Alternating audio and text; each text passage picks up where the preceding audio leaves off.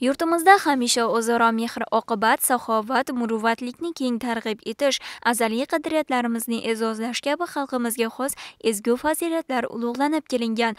Ehtiyojmand kishilarni har tomonlama qo'llab quvvatlash oila va mahallalarda mehr oqibat muhitini mustahkamlash yoshi ulug' insonlarga g'amxo'rlik ko'rsatishga alohida e'tibor qaratilgan. Bugungi kunda ham bu kabi ezgu ishlar davom etmoqda. Bu borada ellikqal'a tumanida ham tizimli ishlar tashkil qilinmoqda.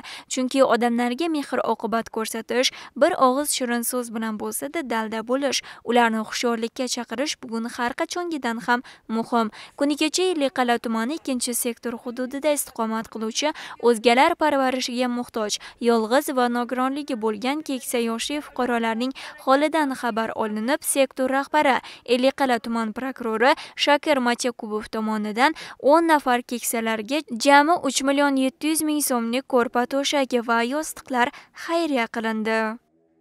Shuni bir oz bo'lsa bir ko'p o'rinda qabul etasiz. Voy katta rahmat yordamlaringiz uchun.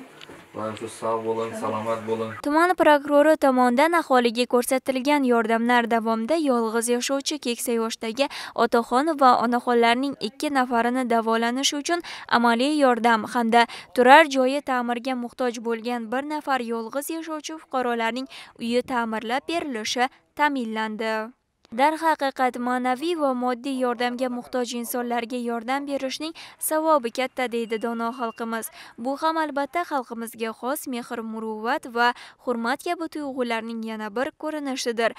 Zero savob ishni har kim har kuni qilmog'i lozim.